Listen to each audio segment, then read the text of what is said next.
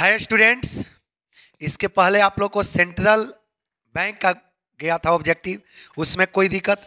दिक्कत हो तो कमेंट में मेंशन करिए और अधिक से अधिक वीडियो शेयर कीजिए। आप लोग वीडियो शेयर करोगे तभी बेनिफिट होगा। आप लोग का भी, हमको भी। तो आप लोग अधिक से अधिक वीडियो शेयर कीजिए।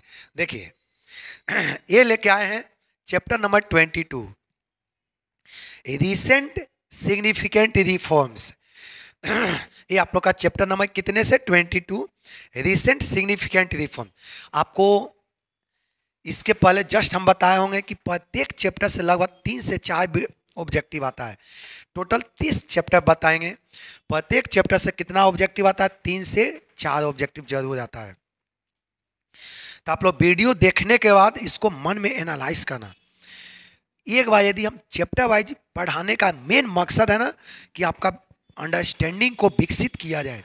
ज़्यादा से ज़्यादा आपको ऑब्जेक्टिव दिया जाए, ताकि 50 में 50 आपके हाथ में हो जाए। इसके बाद गेस जाएगा। गेस तो पूरा मन भर जाएगा। जितना चाहोगे उतना के गेस जाएगा। लेकिन ये थोड़ा सा प्रैक्टिस कीजिए। चैप्टर वाइज देखिएगा। ये चैप्टर नंबर आपका कितने से है? ट्वेंटी टू जस्ट हमने बताया था। इसके पहले ट्वेंटी वन चैप्टर आप लोग का जा चुका है। सेंट्रल बैंक ये चैप्टर कितने से ट्वेंटी टू है। चलिए। आते हैं फ़र्स्ट क्वेश्चन पर। देखिए, बिहार बोर्ड कितना बार क्वेश्चन आया? दो हज़ार ग्यारह, सत्रह, इक्कीस। देखिए, क्वेश्चन है क्या? With which Narasimham committee is related to बताइए। नरसिम्हम कमिटी किससे रिलेटेड है? Tax reform banking reform agriculture reform infrastructure reform तो ये जो नरसिम्हम कमिटी है, किससे रिलेटेड है? बैंकिंग रिफॉर्म से।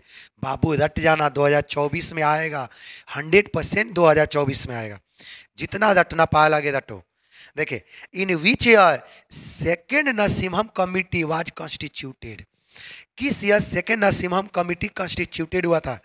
1978, 1991, 1997, 1998 सेकेंड नरसिम्हम कमिटी कब कॉन्स्टिट्यूट हुआ था? 1998 को। चलिए नेक्स्ट क्वेश्चन हम आशा करते हैं कि इतना वीडियो आप लोग देख लोगे ना। तो 50 में 50 दुनिया के ताकत आपको नहीं रोकेगा। समझ में आ गया ना? यदि सारा वीडियो देख लोगे, तब। आते हैं क्वेश्चन नंबर तेरह पर। देखिए banking ombudsman scheme was allowance in the year देखिए banking ombudsman scheme announce in the year किस साल अनाउंस हुआ था? 1990 1995 को। कब अनाउंस हुआ था? 1995 को। Which was included in purview of banking ombudsman scheme कौन किसे बैंकिंग अमाउंट्समेंट स्कीम में शामिल किया जाता है? देखिए all schedule banks cooperative bank commercial bank all of the इसमें सारा के सारा बैंक क्या होता है? शामिल होता है। नेक्स्ट पॉइंट चलिए question number five which committee was constituted for suggesting consumers service improvement in bank अब आपको पता ना, चार गो कमिटी हुआ था, चारों कमिटी देखे लिखवाए होंगे कॉपी में। यही पूछा है कि कौन ऐसा कमिटी है जो कंज्यूमर देखिए suggesting consumer service improvement in bank Raja, देखिए राजा, चैलैया समिति, देखिए गोयपोरिया कमिटी, वायमा कमिटी देखिए, चक्रवर्ती कमिटी, इसका सही बाबू आंसर क्या है? गोयपोरिया कमेटी। तो कॉपी में भी लिखवाए हैं। आप लोग कॉपी में चेक कीजिए जाके, सारा लिखवाया हुआ मिलेगा। नेक्स्ट क्वेश्चन देखिएगा। देखिए for revival and rest restructure of weak bank ये सब कॉपी में लिखवाए हैं। For revival and restructure of weak bank of public sector which committee was constituted ये वीक बैंक को रिकॉन्स्टिट्यूट के लिए कौन सा बैंक को स्थापना किया गया था? कौन सा कमिटी सॉरी किया गया था? For revival and restructure of weak bank of public sector which committee was constituted weak bank को रिवाइवल के लिए कौन सा कमेटी कॉन्स्टिट्यूट हुआ था? बताइए वायमा कमेटी गोयपोरिया कमेटी लेखी समिति, committee Narasimham committee. Weak bank को रिकॉन्स्टिट्यूट के लिए कौन सा कमेटी हुआ था? वायमा कमेटी। नेक्स्ट चलते हैं question number seven RBI allowance the guidelines to issue licence to new bank of private sector है कितना लॉलीपॉप क्वेश्चन ये कॉपी में लिखवाया गया है। ये फ़र्स्ट टाइम प्राइवेट बैंक को लाइसेंस कब मिलना स्टार्ट हुआ? 22 जनवरी उन्नीस सौ तिरानवे को। कब प्राइवेट बैंक को कब लाइसेंस मिलना स्टार्ट हुआ? 22 जनवरी उन्नीस को। कोई दिक्कत? चलते हैं। आते हैं सीधे टॉपिक पर। आठ नंबर।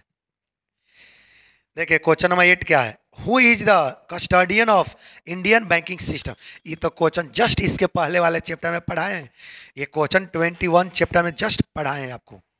देखिए who is the custodian of Indian banking system कौन कस्टडियन है? Reserve bank of India custodian कौन है? Reserve bank of India. चलिए, ये तो आप लोग जान ही रहे। देखिए, question number nine. Banking sector reform in India began in. India में बैंक, देखो, ये 2015 में पूछा हुआ है। Banking sector reforms in India began in. Bank, Bharat में बैंकिंग क्षेत्र सुधार प्रारंभ हुआ था। कब से हुआ था? 1969, 1989, 1991 ये तो सबको पता होगा। 99 परसेंट स्टूडेंट को पता होगा। क्योंकि टॉपिक कितना बार रिपीट हो चुका है? चलिए अगला point 14 big bank scheme commercial bank in India was nationalise in देखिए ये आपका चौदह दो बार नेशनलाइज हुआ था पता है ना? एक बार चौदह बैंक और एक बार सिक्स बैंक दो बार नेशनलाइज हुआ था। एक बार चौदह बैंक हुआ एक बार छः बैंक को दो बार नेशनलाइज हुआ है। तो चौदह बैंक का नेशनलाइज कब हुआ था? 1969 में। आगे देखिएगा which is associated with reform in banking sector banking sector के सेक्टर के रिफॉर्म से कौन रिलेटेड है? Year 1981 Narasimham committee Y V Reddy committee A and B both क्या बोला आपका? ए एन बी बोथ तो इसका सही बाबू आंसर क्या होगा? ए होगा। चलिए क्वेश्चन नंबर बारह। देखिए क्वेश्चन नंबर बारह Narasimham committee report is related to reform of which of following taxation reform administration reform banking reform किससे बाबू रिलेटेड था? बैंकिंग रिफॉर्म से. How many banks were nationalise in 1980 अभी अभी बताया ना कि दो बार नेशनलाइज हुआ था। एक बार चौदह बैंक चौदह बैंक को कब नेशनलाइज हुआ था? 1969 में। और फिर छः बैंक का नेशनलाइज कब हुआ? 1980 में। दो बार नेशनलाइज हुआ था, एक बार चौदह बैंक का, एक बार कितना बैंक का? छः बार। तो चौदह बैंक का कब नेशनलाइज हुआ था? 1969 में। और छः बैंक का कब नेशनलाइज हुआ था? इतना देखिए how many banks were nationalise in पंद्रह अप्रैल 1980 कितना बैंक का नेशनलाइज हुआ था? इतना। देखिए तो चैप्टर नंबर आपका 22 समाप्त है। देखिए, बहुत तेरह क्वेश्चन है। इसमें कम से कम दो ऑब्जेक्टिव आएगा। इस चैप्टर से कितना ऑब्जेक्टिव आएगा? दो ऑब्जेक्टिव हंड्रेड परसेंट इस यही कारण है कि चैप्टर वाइज पढ़ा रहे हैं, ताकि ज़्यादा से ज़्यादा जो हम लोग का इस बार टारगेट है, पचास में पचास ऑब्जेक्टिव सारे स्टूडेंट का पचास में पचास आना चाहिए। ठीक, सभी को थैंक यू ज़्यादा से ज़्यादा वीडियो आप लोग शेयर कीजिए।